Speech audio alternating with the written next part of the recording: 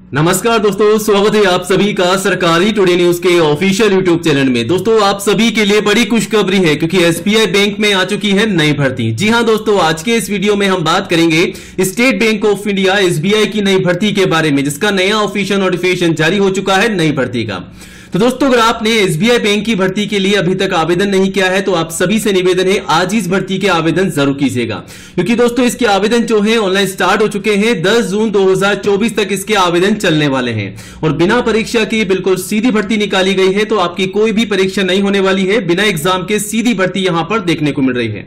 ये जो भर्ती है, ऑल ओवर इंडिया की भर्ती है तो भारत के किसी भी राज्य या ज़िले में आप रहते हैं दोस्तों तो आप सभी अभ्यर्थी, मेल, फीमेल, लड़के, लड़कियाँ, महिला, पुरुष अभ्यर्थी जो है, आवेदन कर सकते हैं। और सैलरी साठ हज़ार रुपए महीना आपको मिल रही है तो काफ़ी शानदार आपको सैलरी यहाँ पर देखने को मिल रही है।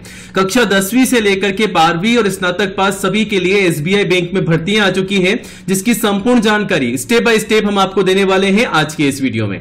तो आगे बढ़ने से पहले आप सभी से निवेदन है, वीडियो को पूरा अंत तक ज़रूर देखिएगा। और प्यारा सा वीडियो को लाइक कीजिएगा जल्दी से और दोस्तों में ज़्यादा से ज़्यादा शेयर कीजिएगा। और चैनल को सब्सक्राइब करें ताकि रोज़ाना आपको नई सरकारी नौकरी और बैंकों की भर्ती की जानकारी सबसे पहले मिल सके।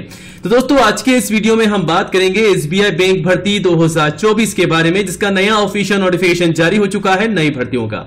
बिना परीक्षा की ये सीधी भर्ती निकाली गई है दोस्तों। ऑल ओवर इंडिया की ये भर्ती है और साठ हज़ार रुपए महीना आपको सैलरी मिल रही है। ठीक है तो मेल फीमेल सभी कैंडिडेट्स आवेदन कीजिएगा। आवेदन केवल आपको ऑनलाइन करना है 10 जून 2024 तक।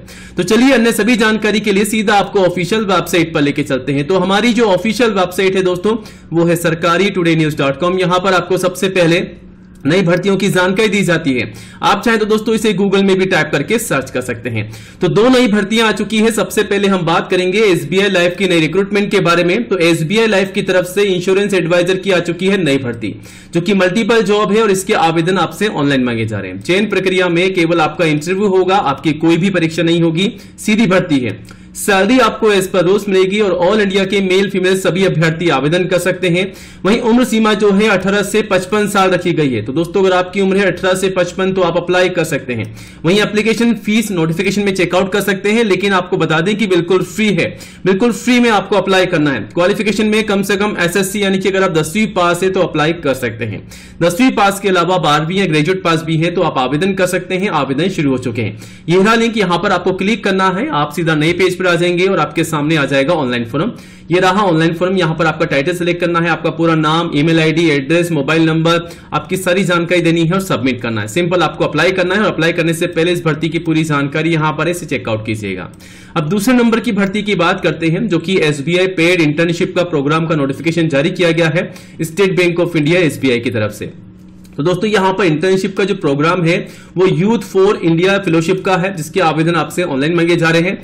ऑल इंडिया की ये जॉब है सिलेक्शन के प्रोसेस में कोई भी एग्ज़ाम नहीं है, केवल आपका पर्सनल इंटरव्यू होगा। एप्लीकेशन फ़ीस यहाँ पर भी बिल्कुल फ्री है और जॉब लोकेशन ऑल इंडिया की है। एज लिमिट जो है मैक्सिमम बत्तीस साल है। एलिजिबिलिटी में आप देख सकते हैं कॉलेज के स्टूडेंट्स या ग्रेजुएट पार कैंडिडेट जो है अप्लाई कर सकते हैं।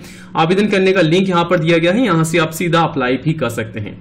तो अप्लाई करने का बटन ये रहा, यहाँ पर आप क्लिक कर दीजिए, आपके सामने ऑनलाइन फॉर्म आ चुका है। सबसे पहले आपका ईमेल आईडी डालना है, आपका फ़र्स्ट नेम लास्ट नेम आपका मोबाइल नंबर देना है जो व्हाट्सएप पे है। उसके बाद पासवर्ड को क्रिएट करना है और यहाँ पर डेट ऑफ़ बर्थ डालनी है जेंडर मेल है या फीमेल है, वो आपको सेलेक्ट करना है। उसके बाद में मेरिटल स्टेटस क्या है सिटीजनशिप क्या है कंट्री क्या है स्टेट क्या है सिटी क्या है, सारी जानकारी आपको देनी है। कौन सी भाषा, कौन सी लैंग्वेज आपको लिखना, पढ़ना, बोलना आती है, वो सब जानकारी डाल करके कंटिन्यू करना है। इस प्रकार आपको अप्लाई करना है।